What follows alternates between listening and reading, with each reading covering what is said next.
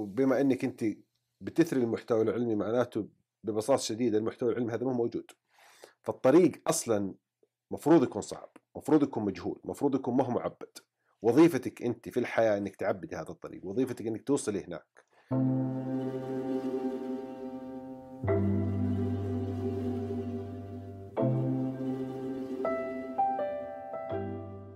وسهلا دكتور حسام زواوي أستاذ مساعد بالعلوم وعالم وباحث متخصص في الأحياء الدقيقة والأمراض المعدية. أنا بك ركاد. آه بداية دكتور كيف حالك اليوم؟ أنا الحمد لله بسعدك كيف حالك أنت؟ الحمد لله تمام إن شاء الله. آه دكتور كيف بدأ اهتمامك بالأحياء؟ اهتمامي بالأحياء بدأ من سن صغير جدا. آم، وأنا كنت طفل آه، واحد من ال- ال- الهدايا اللي أعطاني هي الوالد كانت مايكروسكوب.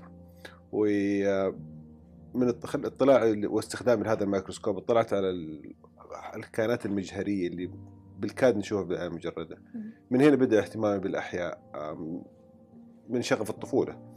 آه، بعدها طبعا درست الأحياء آم، البكالوريوس وتخصصت في ال microbiology. طيب دكتور خلال مسيرتك العلمية كان اهتمامك البداية بالأحياء المجهرية صحيح. ثم صار اهتمامك بالبكتيريا المقاومة للمضادات أو كما تسمونها البكتيريا الخارقة. صحيح. متى تغير عندك هذا الاهتمام؟ هذا الاهتمام يعني بصراحة بعد ما لمست الجانب الإنساني أكثر والأثر اللي تقوم به الميكروبات للإنسان آم، ركاد من ال- التحديات ومن ال- العوامل اللي تهدد صحة الإنسان على مدار التاريخ كانت ولا زالت الأمراض المعدية. الميكروبات لها أثر كبير جدا في تغيير حياة البشر. وهذا شاهدناه ولمسناه بشكل كبير. من خلال آه، وباء كورونا. من أهم الكتب اللي صراحة ساعدتني أني أنا يعني أفهم هذا الموضوع وهذا الأثر بشكل جذري صراحة وأثر كث- كثير على فهمي. كان قراءتي لكتاب اسمه 12 Diseases That Changed the World أو 12 مرض غيرت حياتنا قرأت الكتاب من عام 2009 و- وقرأته بدون مبالغة أكثر من خمسة أو ست مرات. لأنه آه، رهيب بشكل جدا يحاول يب- يبرز الجانب الإنساني للميكروبات وكيف أثرت على تغيير المجتمعات وسببت كوارث بشكل كبير. من الأثر بعضها مثلا كان زي أثر ال- الفطر اللي هاجم زراعة البطاطس في إيرلندا وكيف سبب مجاعة الملاريا وكيف سببت؟ ولا زالت تسبب كثير من الوفيات في العالم. الطاعون وكيف قتل ملايين البشر في أوروبا. وغيرها يعني قصص لما تقرأيها وتعرفي كيف الميكروبات أثرت في حياة الشعوب. طبعا هذا الكلام قبل ما نعيش الوباء. طبعا اليوم بعد ما عشنا الوباء وشفنا كيف حياتنا تأثرت بشكل كبير جدا بسبب فيروس صغير ما نقدر نشوف بالعين المجردة.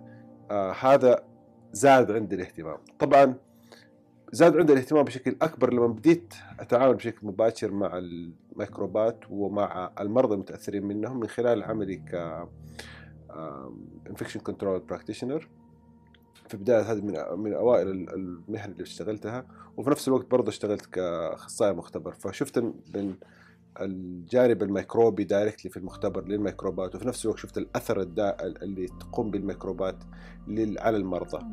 وانتشارها في المستشفيات وتسبب outbreaks في المستشفيات وانتشار كبير فهذا يعني لمس الجانب الإنساني عندي ووراني إنه الأثر اللي قم تقوم الميكروبات على صحة البشر فاهتمامي بالأحياء وبالميكروبات أعتقد تم توجيهه أكثر من خلال ممارستي للعمل. الكلينيكي نعم طيب متى نشأت هذه البكتيريا الخارقة؟ هل هي قابلة للعلاج أم لا؟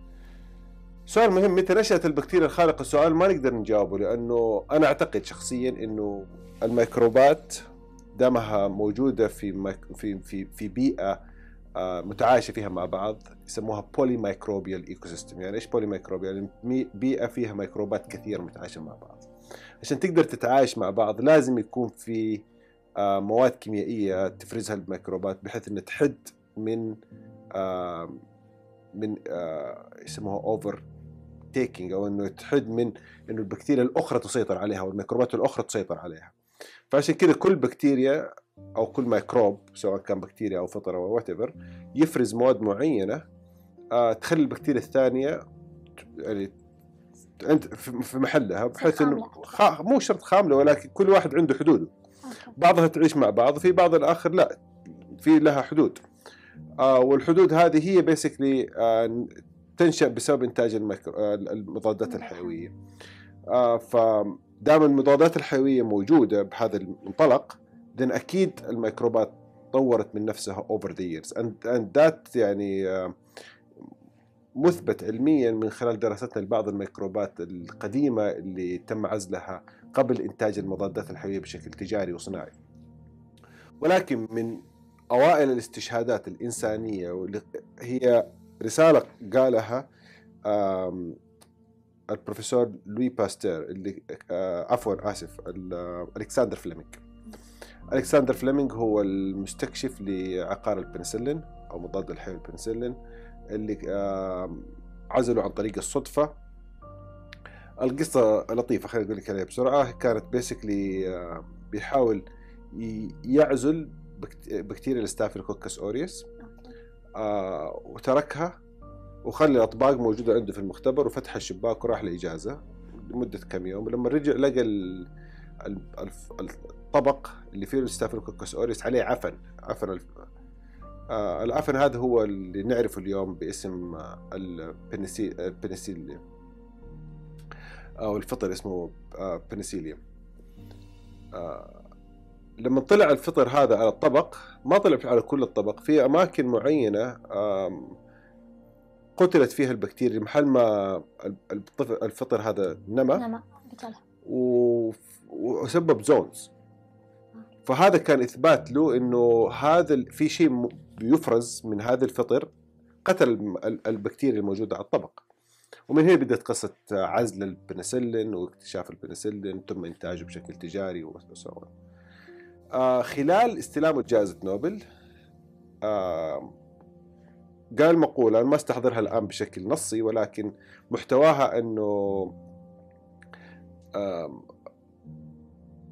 مدام المضادات الحيوية إحنا راح نستخدمها البكتيريا أكيد راح تطور من نفسها وتصبح مقاومة لها. اللي هو ال tolerance حقه يصير أقوى. اي هو هو اللي هو اللي قالها في خلال استلام جائزة نوبل واخرها يسموها inauguration أو في خلال استلامه الجائزة وتكريمه يعطي محاضرة acceptance speech وفي المحاضرة هذه أو في في ال talk قال ذكر الكلمة هذه قال آه، إحنا شاهدنا ميكروبات طورت من نفسها في المختبر آه، بسبب آه، وجود بسبب استخدام المضاد الحيوي. وهذا أكيد راح أيضا يتأثر آه، يحصل في على مع الإنسان من خلال استخدام المضاد الحيوي. فهذه كانت شهادة من مستكشف المضادات الحيوية لميكروبات هو شاهدها عنده في المختبر وفعلا. آه، اليوم إحنا بنشوفها بشكل آه، كثير وطبيعي. آه، للأسف الشديد بتأثر كثير في حياة المرضى لأنه اعتمادنا اليوم أصبح كبير جدا مع تطور الطب على المضادات الحيوية. صحيح. طيب آه خلال بودكاست ثمانية ذكرت إنه البكتيريا الخارقة لها علاقة بزراعة الأعضاء. ممكن لنا تسهب طبعاً. في هذا الموضوع. مو بس زراعة الأعضاء، زراعة الأعضاء علاج أمراض كثيرة تعتمد على المضادات الحيوية لأنه واحد من أهم الأشياء مثلا ممكن يسموها prophylactic antibiotics لأنه ال antibiotic ممكن يؤخذ قبل العملية بحيث إنه يحد من آه، ظهور العدوى آه، اللي قد تنتج بسبب سواء العملية بشكل عام. فاكيد لا فعلا المضاد الحيوي مهم في هذه الحالة. طيب كباحث ما هو دور الباحث يعني؟ بصفة عامة دور الباحث هو إثراء المحتوى العلمي إثراء المحتوى العلمي في مجال معين يحاول الإجابة على أسئلة آه، علمية لم يتم المجاوبة عليها في السابق أو قد تحتاج إجابة أكثر أو أعمق أو إجابة في الوقت الحالي. ممكن يكون في سؤال معين تم إجابته قبل عشر سنوات مثلا ولكن أنا الأوان أن نرجع نعيد على هذا الجواب إجابة على هذا السؤال في الوقت الحالي. So بصفة عامة وظيفة الباحث هو إثراء المحتوى العلمي. آه طيب دكتور من خلال مسيرتك العلمية حصلت عدة جوائز هل ممكن تذكر لنا بعضا منها؟ واحدة صراحة من من أكثر الجوائز القريبة لقلبي كانت جائزة رولكس للمشاريع الطموحة. هي جائزة تقوم بها شركة رولكس المعروفة للساعات. أه، ولكن هذا الجزء يدعموا في أبحاث لها علاقة بالصحة بالعلوم بالثقافة آه، والتاريخ وأبحاث آه، الاستكشاف.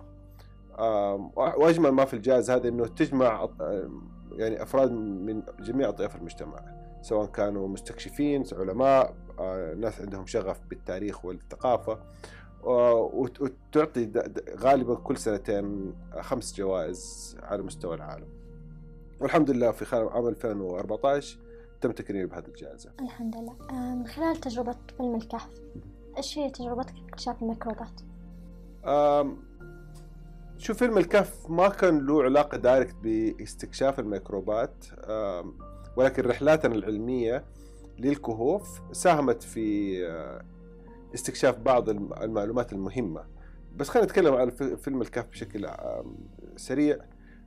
بصراحة من أهم الأشياء اللي لامست كثير من شغفي ودعمت كثير من من حب الاستكشاف هي الوثائقيات اللي نتفرج عليها على National Geographic مثلا. هي الوثائقيات اللي يقوم بها ال Attenborough ديفيد Attenborough هذه الوثائقيات الموجودة مثلا على Netflix اليوم زي Our Planet ولا Planet Earth كل هذه وثائقيات كانت صراحة ملهمة لي بشكل كبير على مسيرتي من طفولتي إلى اليوم. وإلى اليوم أنا أستمد الإلهام من مشاهدة وثائقيات بهذا الشكل. لأنه فيها جزء مهم جدا هي استخدام فن توصيل المعلومة وفي نفس الوقت يدعموا بجانب إثارة زائد ما يكون ممل للمشاهد جدا. وفن أحسنتي وفن إبراز جوانب جمالية وفنية كلها تنحط مع بعض وتوصلها للمشاهد ولكن برضو ما هي فكرة إنه يعني يختلق فكرة. فكرة الوثائقيات هي تعرض الفكرة الموجودة حاليا وتبر كانت. فالوثائقي يعني هي وسيلة لتوصيل المعلومة وصراحة بسبب هذا الاستلهام كنت أبغى أجرب يكون عندي تجربة في إنتاج وثائقي بهذا الشكل والحمد لله توفقنا مع فيلم الكهف. أكثر شيء استفدت من خلال التجربه إيش كان؟ شيء أضاف لك. أعتقد عزز إيماني بأهمية التواصل العلمي من خلال الأفلام. آه، اللي أعتقد في ضعف كبير على مستوى العالم مو فقط في, في العالم العربي. طيب دكتور آه كنت خلال مرحلتك العلمية الطويلة مريت بمرحلة حسيت إنه أنا أبغى أوقف، إيش كان الدافع اللي خلاك تكمل؟ بكل أمانة هذا آه، الدافع هذا هذا النقطة مفروض إنها ما تكون موجودة لأنه دامك عرفت إنك أنت الآن ماخذ في طريق الأبحاث. بس بيسكلي هي الأبحاث أنت بتبحثي عن معلومة معينة. آه، أو تبحثي عن استكشاف معين. فأنت عارفة أصلا إنك أنت داخلة على الانون للمجهول. وبما إنك أنت بتثري المحتوى العلمي معناته ببساطة شديدة المحتوى العلمي هذا مو موجود. فالطريق أصلا مفروض يكون صعب مفروض يكون مجهول مفروض يكون ما هو معبد. وظيفتك أنت في الحياة إنك تعبدي هذا الطريق وظيفتك إنك توصلي هناك. فإذا كان سهل الطريق الطبيعي إنك أنت ماشي الطريق الغلط. فلازم يكون طريق غير معبد مجهول صعب. تتابع عشان توصل. إيه، وهذا وهذا الطريق إذا كان بهذا الشكل هذا يثبت أكثر إنه فكرة إنه التوقف وانك تقولي خلاص ما أبغى أكمل ما هو خيار دامك أنت ماشي في هذا الطريق. ف يعني ما تخيل إنه موجود. طيب بعيد عن الجانب الأكاديمي وكونك دكتور كيف تقضي وقت فراغك؟ يعني إيش هي هواياتك؟ أنا أحاول قد ما أكون يعني active أو نشيط جسديا physically active آه، وأهم الهوايات صراحة اللي أحبها وربيت عليها من سن صغير جدا ركوب الخيل. ومؤخرا يعني في آخر عشر سنوات تقريبا وجهت هذه الرياضة لإستخدامها في رياضة البولو. متى تهتم فيها؟ وش السبب اللي خلاك تهتم برياضة البولو؟ اللي خلاني هي مللي من ركوب الخيل بالشكل الطبيعي. أنا ما أتذكر متى بدأت أركب خيل. بكل أمانة أنا يعني ربيت على ركوب الخيل. ولا أعرف متى أول مرة بديت أركب خيل. أنا أعتقد من سن ثلاثة أو أربع سنوات ومن هناك بديت التعلم. ف وصلت لمرحلة خلاص يعني قفلت على هذه الرياضة على قولهم. ما اعرف إيش أسوي فيها أكثر بشكل أفضل. آه، جربت رياض... جربت بعض الرياضات مثلا قفز الحواجز آه، لقيتها ممتازة جدا لكن ما هي اللي قد. ما هو شغفي آه، البولو فيها شيء جميل إن هي رياضة جماعية وهي يعني قد تكون من الرياضات القليلة في الفروسية اللي هي جماعية غالبا وقديمة الفروس مرة. وطبعا قديمة جدا رياضة عريقة آه، وقديمة فعلا عمرها آلاف السنين بس من أهم الأشياء صراحة إنه تلعب كأنه فريق كرة قدم عندك فريق فيها teamwork آه، لعب جماعي وفي نفس الوقت تقضي جانب الفروسية عندي وت- وترضي هذا الشغف.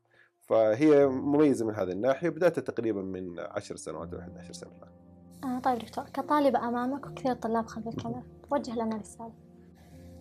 آم، والله يا ركاد أنا صراحة يعني أهم رسالة أود آه، يعني أحفز كثير من طلابي عليها. هي استغلال وقتكم الآن وجودكم في الجامعة. من أجمل سنوات عمركم أو هذا- تستغلوا هذا الوقت لبناء شخصيتكم وبناء علمكم بناء مستقبلكم. اليوم هو اليوم اللي أنت فعلا قاعد تبني فيه مستقبلك. آه، اللي حد اللي راح يحدد ركاد بعد خمسة أو عشر سنوات هو اليوم. آه، فاستغليه أكبر فرصة ممكنة. آه، من خلال طبعا الدراسة واستلهام العلم واستفادة من الجامعة جامعه الملك سعود بن عبد العزيز الصحية واستفادة من زملائك ومن أساتذتك. بحيث إنك تستغلي هذه الظروف الموجودة كاملة. في نفس الوقت إحنا عندنا شيء مميز جدا في الجامعة وجود المستشفى معنا وجود مركز الأبحاث. هذه فرص عظيمة ووجود مستشفى بهذا الحجم وجود مركز أبحاث بهذا الحجم. بالتاكيد وجود آه، الجامعة بهذا الحجم المفروض يكون هي عبارة عن فرص لكم آه، تستغلوها ولا عندكم يعني آه، أهمية أكبر من هذه الأهمية المفروض تكون إنه استغلال آه، هذه السنوات إنكم أنتم تبنوا فيها شخصيتكم ومهاراتكم لتكونوا أفضل ومؤهلين بشكل أفضل في سوق العمل وللمستقبل أيضا. هذا من ناحية أساسية. من آم، حيك- راح يكون عندكم قدامكم وقت طويل أيضا إنكم تبنوا مهارات خارج يسموها لا صفية اكسترا كوريكولم هذه المهارات الجامعة توفر لكم خلال نادي الطلاب. خلال نادي الطلاب أحسنتي. وخلال أوقات فراغكم خلال علاقاتك مع زميلاتك خلال علاقاتك مع أساتذتك خلال علاقاتك مع ال- الاستشاريين والاستشاريات الموجودين في المستشفى. آه هذا راح يعني يعزز فيك جوانب كثير والآن مشاركتك شكرا على هذا اللقاء. في هذا ال- اللقاء هو واحد من أهم النشاطات اللي أنت راح تضيف لك. وهذه المهارة إن شاء الله راح تعززيها في المستقبل. فنصيحتي لكم أنه فعلا استغلوا فقط وجودكم في الجامعة أنكم تقضوا أوقات فراغكم في زيادة يعني مهاراتكم اللاصفية يعطيك العافية دكتور ختاما. يعافيك. حابين نشكرك. وشكرا انك أعطيتنا هذا الحوار المثري وكان جدا شيق. شكرا لكم أكاد. يسعدني ويشرفني. شكرا على هذا اللقاء. آه، شكرا على حوارك. ما شاء الله آه، قدت الحوار بشكل جميل جدا. آه، ويسعدني ويشرفني وجودي بينكم. شكرا لكم. يسعدك، الله شكرا. يحفظك